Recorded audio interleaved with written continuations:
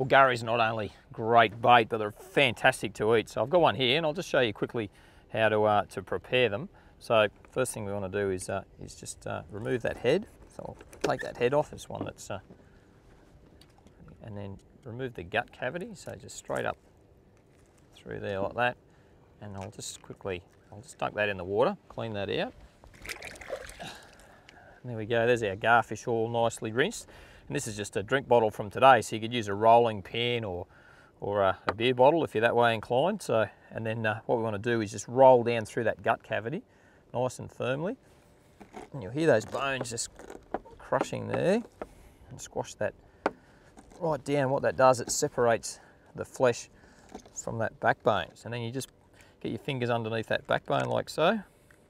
And see most of those bones, pretty well all those bones are coming out and that main backbone is.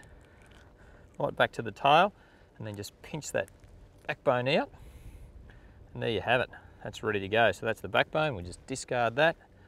And there's our gari ready to serve. So as I said, a bit of seasoned flour, hot olive oil in a shallow pan. I've got to tell you, really, really, really nice.